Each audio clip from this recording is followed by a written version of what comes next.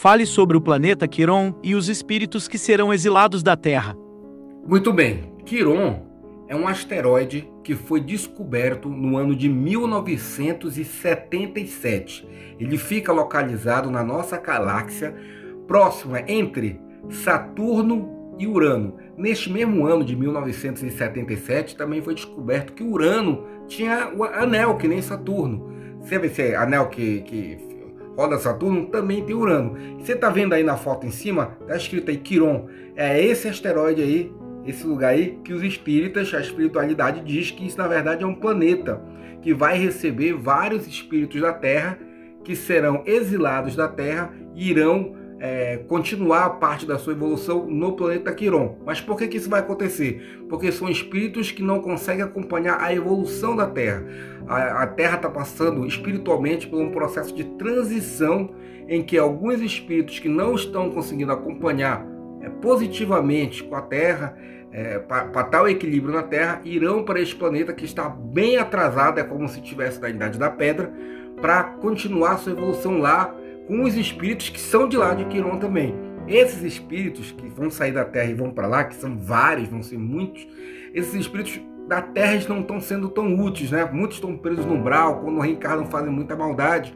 Em Quiron já vão estar muito evoluídos em relação à, à população de lá, os espíritos de lá. Eles vão ajudar com certeza a, a Quiron crescer. Isso já aconteceu no passado, quando muitos de nós saímos do planeta Capela, que fica localizado no Cocheiro, né, a Cabrita, e muitos de nós veio de Capela para a Terra, tanto que teve as pirâmides do Egito, né, tudo aquilo ali, que é aquela, aquelas coisas que a gente não acreditava. Como é que os caras naquela época faziam isso?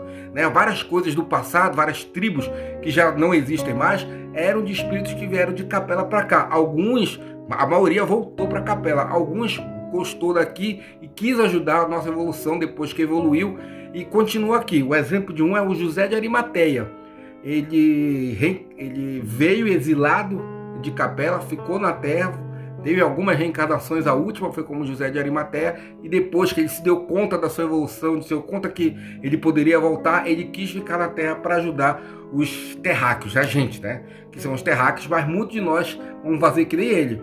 Isso que eu estou falando do José de Arimateia tem no livro é, Exilados por Amor, um dos melhores livros espíritas que eu já li. Tá? Então, muitos de nós vão ajudar no planeta Quiron, porque aqui a gente não consegue evoluir. Então, essa é a teoria do planeta Quiron, que na verdade, pela ciência, é um asteroide que fica localizado entre Saturno e Urano, é, no, na nossa galáxia, na mesma, nossa, na mesma galáxia, o nosso sistema solar. E quem vai ser o governador de Quiron, que não é o mesmo da Terra, é Jesus que ele é o governador geral aqui da nossa galáxia, governador da Terra. Ele, é o que dizem, também será o governador de Quirón e receberá, receberá essas almas. Muitas já estão indo e já estão reencarnando lá. Outras, com o tempo, os próximos 100 anos, vão vai nascendo e reencarnando já lá em Quiron, muitos daqui da Terra, junto com os, os, espíritos que já são só lá de Quiron, que já nasceram em Quiron. Beleza? Essa é a notícia aí é, do Espiritismo sobre esse planeta Quiron. Na verdade, né, como eu falei, é um planeta, um asteroide, mas tá aí,